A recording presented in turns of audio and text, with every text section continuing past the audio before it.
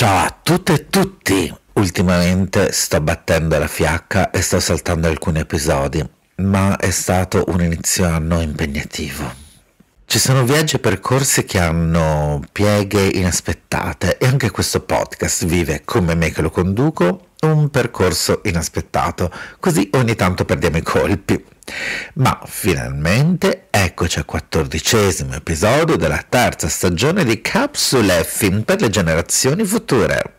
In questi giorni ho dovuto affrontare proprio uno dei problemi che stiamo osservando insieme, come sopravvivere ai fallimenti. I fallimenti possono essere di molti tipi, amore, carriera, amicizia, che poi amore, ma sempre si ha a che fare con i sogni. E così Visto che in questa terza stagione abbiamo ricordato l'importanza di saper sognare, ci siamo ispirati nel rimettere insieme i pezzi del nostro cuore infranto, cercando anche di capire come e perché si sia rotto.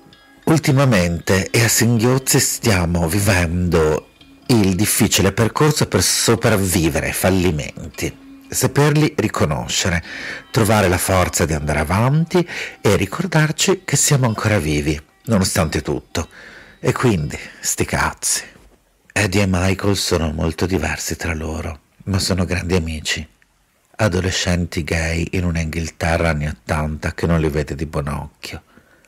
In un viaggio tra Liverpool e Brighton scopriranno molto di sé e del mondo e di quanto entrambe le cose possono essere brutte. The Fruit Machine è un piccolo film inglese del 1988 che spiattella in faccia a tutti quanto possa essere brutto essere adolescenti gay poveri e magari non bellissimi. Aggiungiamo gli anni Ottanta della pandemia dell'HIV che nel mondo e soprattutto in Regno Unito, grazie a una politica apertamente discriminatrice da parte del governo, condannò all'emarginazione e alla morte milioni di omosessuali.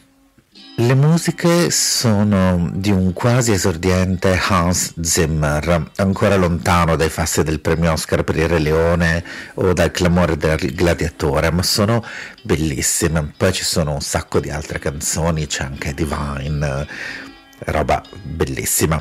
La regia è di Philip Seville, pluripremiate BAFTA, un grandissimo regista, un regista di altri tempi, classe 1927, un uomo che ha sempre dimostrato un occhio speciale per descrivere belle storie. Una piccola chicca è sicuramente Robert Coltrane, che tutti noi amiamo e conosciamo come Hagrid nella saga di Harry Potter, che qui interpreta la bellissima drag queen Annabelle ed è davvero bravissimo. Parlare di piccoli film con belle storie è forse la cosa mm, che mi piace di più di fare questo podcast e specialmente in questa terza stagione così altalenante mi sto prendendo la libertà di consigliarvi alcune piccole perle indipendenti, perché credo che proprio in questi piccoli progetti si nasconda il vero amore per il cinema, la voglia di raccontare una storia. E The Fruit Machine è davvero una bella storia, una storia coraggiosissima se si pensa che è del 1988 e che si sta parlando di ragazzini probabilmente vista da un ragazzo di oggi, ma anche dai noi stessi di oggi, fa un altro effetto. Su alcune cose magari non lo si trova neanche così brillante, però davvero va contestualizzato in cinema indipendente anni 80 inglese ed è davvero davvero tanta tanta roba. La base di questo film è un thriller. I due assistono a un omicidio da parte di un omofobo e scappano sperando di non fare la stessa fine. The Fruit Machine ha un triplice significato. Il primo è quello di slot machine. Fruit, sapete no, la frutta che se le fai tutte uguali vinci.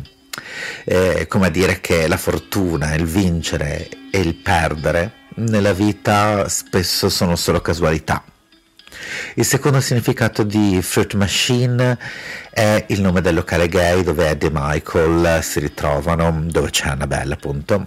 E infine, The Fruit Machine era anche una sorta di macchina della verità, utilizzata in Canada negli anni 50 e 60.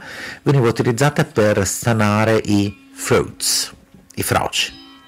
Già, perché nel periodo della guerra fredda si pensava che le persone LGBTQ fossero più inclini ad essere ricattati e quindi facilmente potevano diventare spie dei governi stranieri.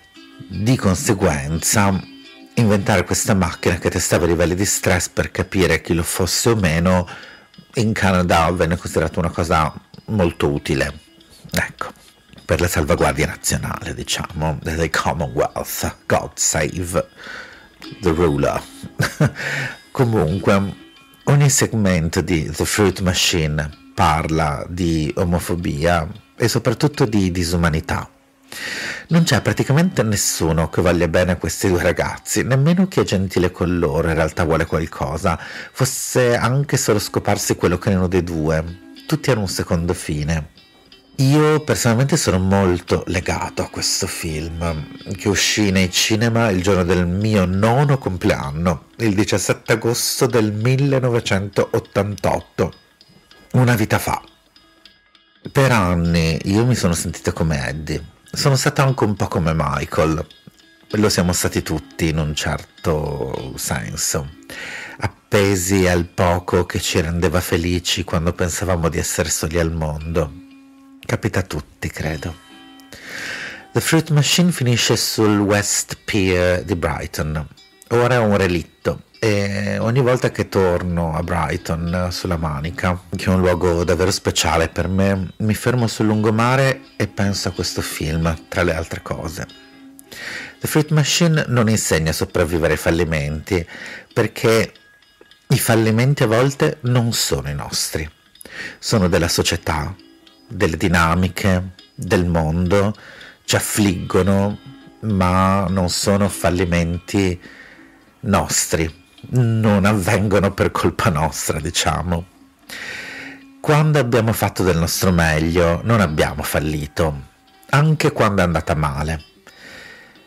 Il fine è solo uno, essere liberi e per essere liberi dobbiamo riconoscere il fallimento e lasciarlo andare. Esattamente come Michael libera il delfino per Eddie, perché solo nuotando libero nessuno potrà fargli più del male. Ecco, dobbiamo imparare a nuotare liberi.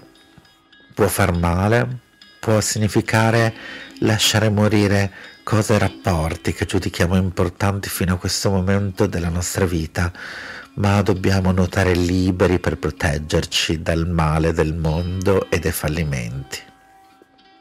Abbiate coraggio. Io sto cercando di averne per quanto ogni tanto vacilli. Ci sentiamo presto e mi raccomando continuate a guardare sempre cose belle.